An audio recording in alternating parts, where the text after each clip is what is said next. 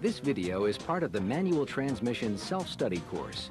It is designed to be used together with the Manual Transmission Self-Study Guide. Both the self-study guide and this video are divided into individual lessons that cover specific topics. To achieve the maximum amount of learning from these training tools, first watch the lesson on the video. Then stop the tape and read the corresponding lesson in the self-study guide. After answering the review questions in the self-study guide, restart the video and follow the same procedure for the next lesson.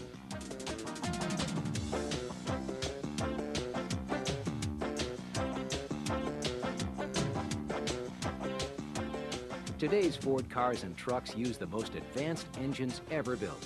These engines are powerful, efficient, clean, and economical. However, even modern engines have limits. Like their predecessors, modern engines only produce power within a very narrow range of RPM. And although they are more powerful than ever, internal combustion engines only produce a limited amount of torque. For these reasons, the engine must be connected to a transmission. The purpose of the transmission is to multiply the power of the engine while keeping it within the correct RPM range. The transmission does this by taking the torque, which is the turning force created by the engine, and using gears to multiply it. Doing this increases the power of the engine, allowing it to move the vehicle throughout its speed range. Manual transmissions allow the driver to precisely control this torque and power. Ford uses many different types of manual transmissions. However, they all share many common components. All manual transmission-equipped vehicles have a clutch. The clutch is a coupling that mounts between the engine and transmission. It allows the transmission to be engaged and disengaged smoothly from the engine. On rear-wheel and four-wheel drive vehicles, a conventional manual transmission is used. It bolts to the rear of the engine and uses a drive shaft to transmit power to the differential and axles. Front-wheel drive vehicles use a unique type of transmission system called a transaxle. It combines both the transmission and differential into one unit. However, because the driving wheels on a front-wheel drive vehicle are also used for steering, a special type of drive shaft is needed. Front-wheel drive shafts are known as half shafts. Each of these systems will be described in detail in this self-study course. Stop this tape now and read Lesson 1 in your self-study guide. After answering the review questions, restart the tape and watch Lesson 2.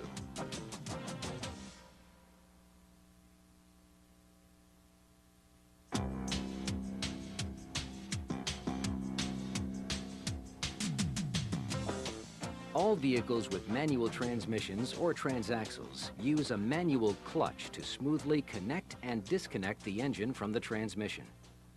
When the driver pushes down the clutch pedal, the clutch disengages. This disconnects the transmission from the engine.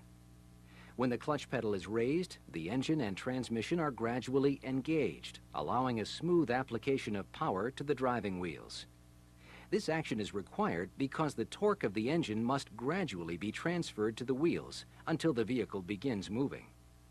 The clutch also must be disengaged during shifting or damage to the components of the transmission will result. The basic operation of a clutch is very simple. A friction disc is sandwiched between two driving discs. When the clutch pedal is pressed down, one driving disc is forced away from the other. This frees the friction disc, which is connected to the transmission input shaft. This allows the input shaft to stop rotating while the engine can continue to run. When the clutch pedal is gradually raised, the two driving discs are allowed to slowly come together again.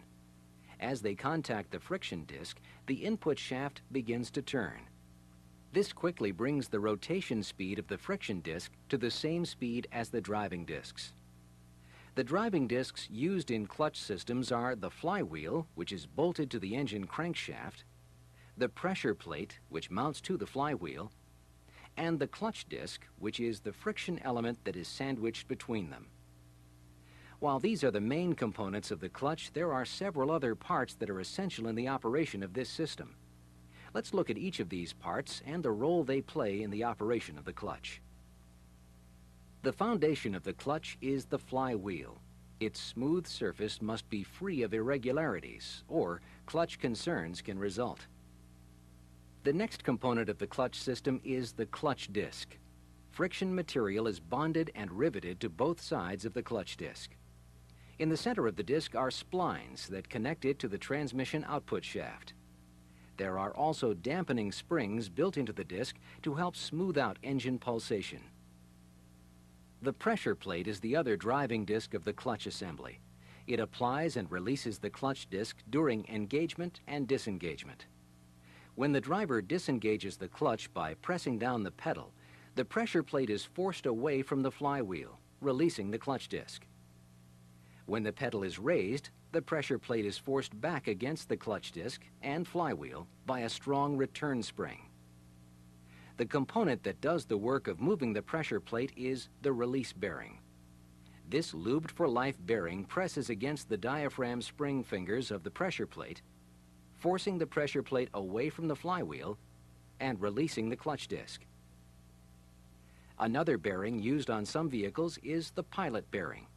It is located in the center of the flywheel or in the end of the crankshaft.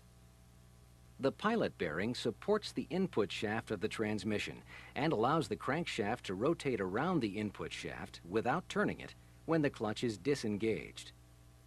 The linkage between the clutch pedal and the release bearing is another important feature of the clutch.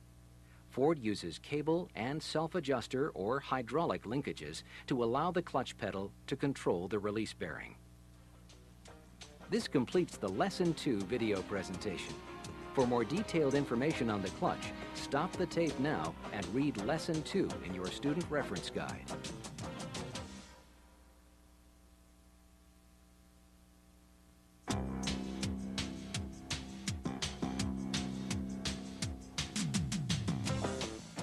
The gears and shafts inside a transmission transmit rotating motion. To understand transmission power flow, one of the first things that you must understand is how gears rotate. One basic rule of gear operation is that gears in mesh rotate in opposite directions. To make two gears rotate in the same direction requires that a third gear be inserted between them. Knowledge of gear design is also important when working with transmissions. There are three basic types of gears that you will see in manual transmissions and transaxles. The first is the spur gear. This type of gear has straight teeth. Because spur gears are noisy, they generally are only used for reverse gears on modern transmissions. The most common type of gear found in transmissions are helical gears. The teeth of this type of gear is cut at an angle. This does make them very quiet. However, helical gears cannot be moved in and out of mesh with each other. The final type of gear that you will see in this self-study course is the spur bevel gear. The manual transaxle differential uses spur bevel pinion and side gears. Now that you have seen the type of gears found in transmissions, let's look at how these gears work. Gears are just circular levers. Because of the differences in their diameter, they are used to change torque and rotation speed. Let's see how this is done. Here we see two gears in mesh. They are the same diameter and have the same number of teeth. Since each gear is the same size, they both rotate at the same speed and with the same amount of torque. This is a one-to-one -one gear ratio. However, if we take a smaller diameter gear, for example with 12